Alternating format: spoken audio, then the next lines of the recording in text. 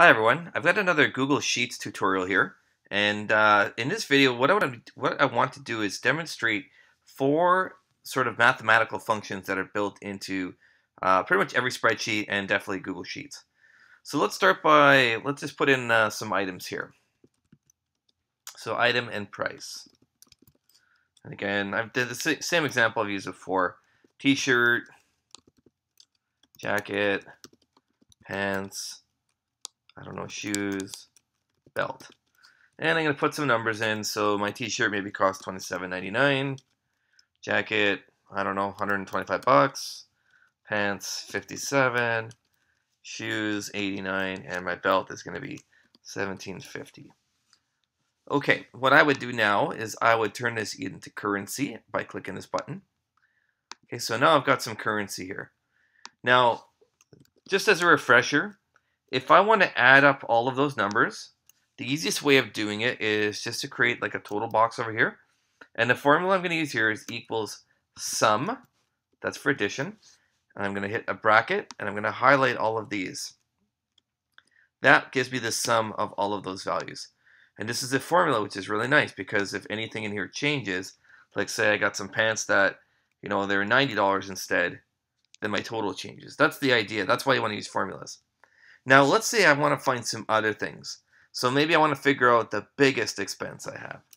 So the largest item, or, or most expensive item, I should say. Let's put it that way. Most expensive item. And the way that I would do that, I'm just going to stretch my column out just so it looks a bit better. There's a function.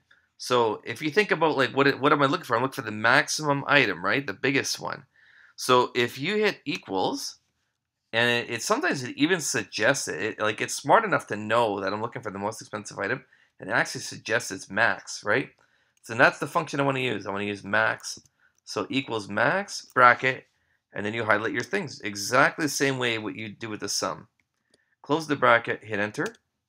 It tells me my most my biggest number was 125. It doesn't tell me it's a jacket. There are other ways of doing that, but right now it gives me the uh, the biggest expense like that. I could do the same thing with the least expensive or the smallest expense. Least expensive item. Oops, expensive item. And if you think this function's max, what do you think the opposite is? Probably minimum, right? So equals min, and it's already suggesting it to me, equals min, and we highlight the cells, close the bracket, enter. The minimum item was 1750. Okay, another one, I'm going to show you two more. Another one that's very, very common is average. So the average expense. So you might need to figure out like, you know, say you've got a bunch of heights of people or weights, you might want to do their average, right? And the average, the easiest way of doing it is to use the function built in. So it's equals average, right here. It gives you the numeric average value in a data set. So equals average bracket, and you highlight your cells close the bracket, and there you go. So that's the average expense right now, and that's a live average, so if anything here changes, this will also change. Be very careful when you make these formulas. Don't include the total. Sometimes people will make the formulas and they'll highlight everything, and they'll say that the, the max expense is 349 Be really careful, okay, when you make these things. So this is looking really good so far. I got max, min, and average. Last one I want to do is, is called count. I'm going to say number of expenses. And that function is going to equal count. So equals count. And what it does is it counts the number of numeric values in a data set. So it's count, bracket, and then I highlight these. This is going to tell me the count is 5 because I have 5 items right here.